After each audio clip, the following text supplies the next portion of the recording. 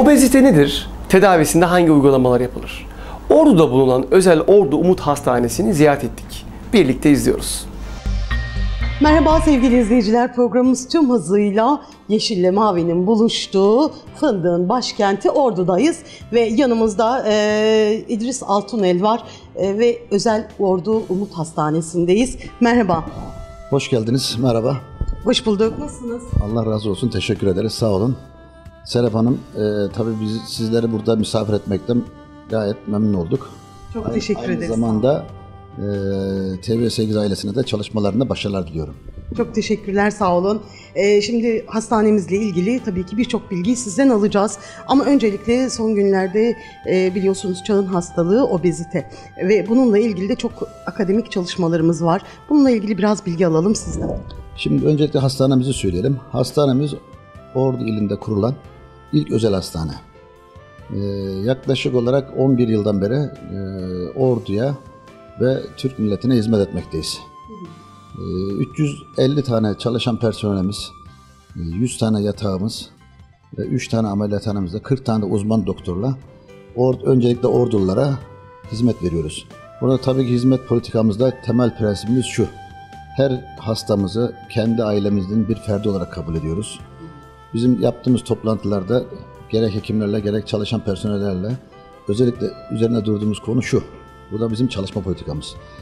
Bizim kurumumuza uğrayan tüm hastaları öncelikle kendi çocuğumuz, kendi annemiz, kendi babamız olarak görüyoruz ve bu anlayışla hizmet veriyoruz. Kendi babamıza, annemize, çocuğumuza yapmayacağımız şeylere bize müracaat eden hastalara da kesinlikle yapmıyoruz. Ee, sağlıkta etik kurallara tamamen riayet ederek e, çalışıyoruz. E, ordumuza da ve ülkemize de hizmet ettiğimizi düşünüyoruz. E, ve bu anlamda çok da yoğun talep ediliyorsunuz. E, hem yurt içinden hem yurt dışından birçok hastamız geliyor. Öyle değil mi? Peki bunun sebebi nedir? Şimdi bunun sebebi de tabii e, Ordu'da Umut Hastanesi yani nasıl ki Ordu'nun markaları varsa Ordu'nun markası işte Ordu Spor, Ordu'nun havası, Ordu'nun markası, denizi markası olmuş. Umut Hastanesi. Dereleri. Derelere, yeşilliği, denize. Umut Hastanesi de Ordu'nun bir markası olma yolunda olmuştur zaten. E, Ordu'ya mal olmuştur. E, bunu tabii ki gerek sosyal medyada gerekse ulusal medyalarda e, vatandaşlarımız duyuyor, hissediyorlar. Tabii en iyi hizmeti nerede alabileceğine kanaat getirerek bize de müracaat ediyorlar. Tabii biz yerimiz e, fiziki olarak yeterli kalmıyor ama burada da orada da yapılacak fazla başka bir şey yok. E, hatta şöyle söyleyeyim, talebi karşılayamıyoruz. Ama buna rağmen kaliteden ödün vermeden hastalarımıza en güzel bir şekilde hizmet etme prensibimizden kesinlikle vazgeçmiyoruz. Çünkü kaliteli hizmetimizden taviz vermiyoruz. Bu anlamda tamamen profesyonel bir ekiple, bir kadroyla çalışıyoruz. Öyle değil mi? Kes- kesinlikle burada yani kökleşmiş kadrolarımız var. Yani hekim kadromuz. Ee, nasıl söyleyeyim? Üç tane ortopedist var. Hepsi her biri birbirinden cevval. iyiler. Hatta şunu söyleyeyim yani bizim ortopedi doktorlarımızın 3-4 aylık randevuları bile dolu. Yani düşünün siz talebin ne kadar olduğunu e, kurumumuza. Ee, işte plastik cerrahide özellikle çok başarılı işler yapan plastik cerrahimiz doktorumuz var.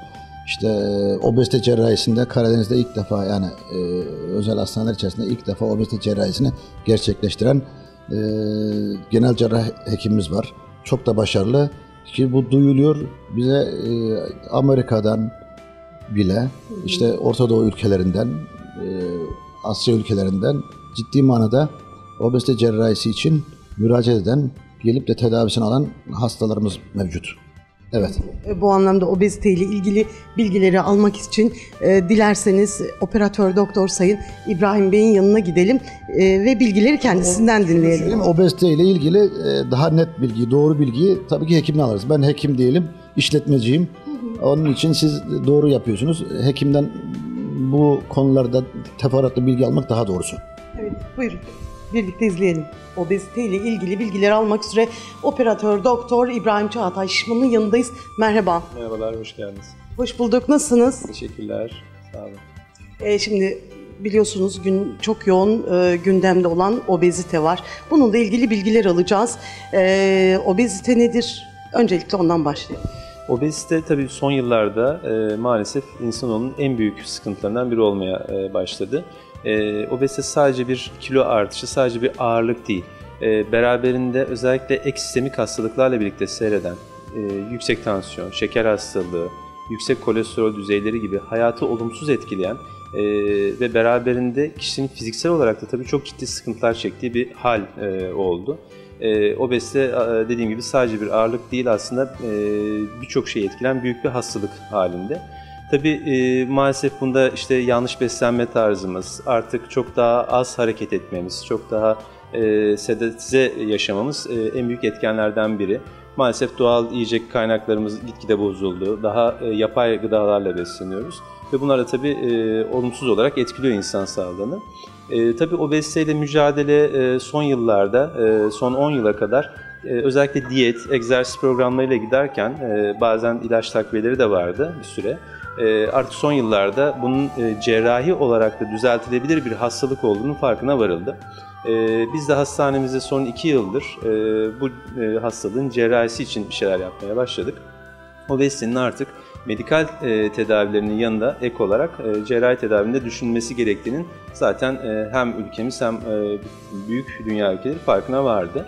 Biz hastanemizde bununla ilgili olarak 2014 yılında öncelikle sleeve gastrektomi dediğimiz yani tüp mide olarak bilinen e, ameliyat tekniğiyle başladık. Daha sonra e, mini gastrik bypass dediğimiz biraz daha şeker hastalığına, yüksek tansiyona yönelik bir cerrahi olan mini gastrik bypass'ı 2015 yılından itibaren yapmayı uygulamaya başladık ve halen de e, çok şükür başarıyla devam ediyoruz. Ee, biz obezite hastaları için tabii ki ilk seçenek olarak her zaman e, medikal e, tedavileri, egzersizleri, e, diyetleri öneriyoruz. Diyetisyenlerimizle beraber buna devam ediyoruz ama e, bununla başarılı olunamadığı durumlarda yaş çok fazla ilerlemeden ve kalıcı e, sıkıntılar oluşmadan pardon e, cerrahinin de e, artık gerekli olduğunu e, gördüğümüz hastalarda cerrahisini uyguluyoruz. Peki tedavi şekilleri nelerdir? Ee, dediğim gibi e, öncelikle e, birkaç tane yöntem var e, dünyada. E, çok revaçlı olan ilk başlayan yöntem e, sleeve gastrektomi yani tüp mide yöntemiydi. E, daha sonra e, özellikle e, beslenmesine çok dikkat edemeyen, e, diyetine çok dikkat edemeyen hastalarda buna ek başka yöntemler de gerektiğinin e, farkına varıldı. Çünkü e, tüp mide yönteminden sonra evet güzelce kilo verip ama belli bir süre sonra, bir yıl, iki yıl sonra tekrar kilo almaya başlayan çok insan oldu. Çünkü e, burada e, bırakılan tüpün esnediği, biraz genişlediği ve daha fazla gitgide hastaların gıda alarak e, tekrar kilo artışlarının olduğu görüldü.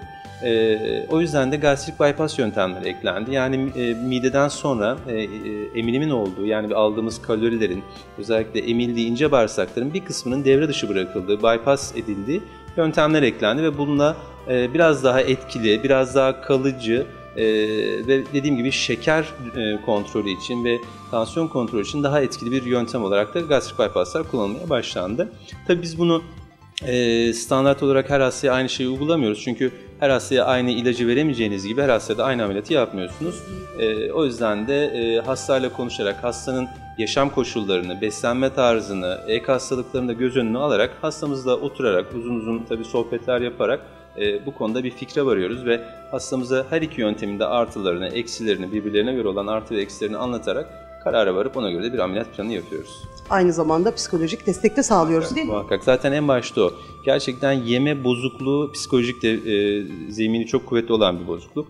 E, her zaman derim yani biz mideyi çok güzel küçültüyoruz ediyoruz ama o mideyi küçük, küçücük hale gelen o zarif mideyi bir bardak suyla da işte bir bardak çok şekerli gazlı bir içecekle de doldurabilir. Çok daha farklı kaloriler e, vücudunuza sokabilirsiniz ve bu da e, hem e, tedavinin başarısı hem de kişinin kilo kaybı, e, şeker regülasyonu için çok önemli oluyor. Evet sevgili izleyiciler, e, İbrahim Bey'den de e, bilgiyi aldık. Şimdi tekrar e, yanımızda e, yönetim kurulu başkanımız İdris Bey var. Merhaba tekrar. Tekrar merhaba. Şimdi evet. obezite ile ilgili bilgileri aldık ve e, genel anlamda tüm bilgileri e, yine sizden alalım. Şimdi sadece burada obezite ile ilgili çalışmalarımız e, olmuyor. Uygulamalar ve tedavi şekilleri olmuyor.